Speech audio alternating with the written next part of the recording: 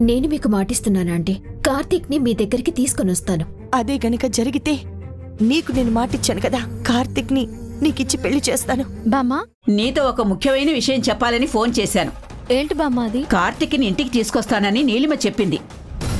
అలా వస్తే కార్తిక్ని నీలిమకిచ్చి పెళ్ళి చేస్తానని మాటిచ్చింది.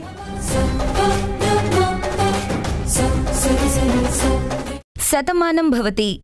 సోమవారం నుంచి శనివారం వరకు సాయంత్రం ఆరు గంటల ముప్పై నిమిషాలకు మీ ఈటీవీలో.